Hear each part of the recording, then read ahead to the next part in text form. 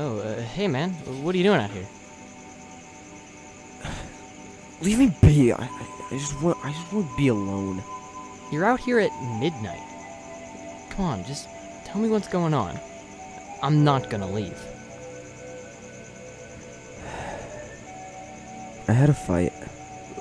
With who? I don't want to talk about it. Uh, hold on, I, I have something for you.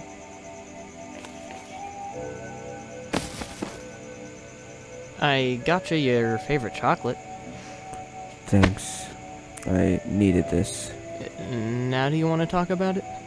I don't particularly want to, but I will anyway. So what happened exactly? My dad and I got into an argument. He, uh, he told me I should be careful when, when driving at night, and didn't want to hear it. I, I almost crashed into a tree because I was in such a hurry. I feel bad for treating him the way I did. I'm not sure what to do now.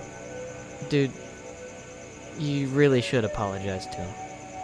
I don't know, I'm scared. It'll be okay. Uh, I can drive you home if that's safer.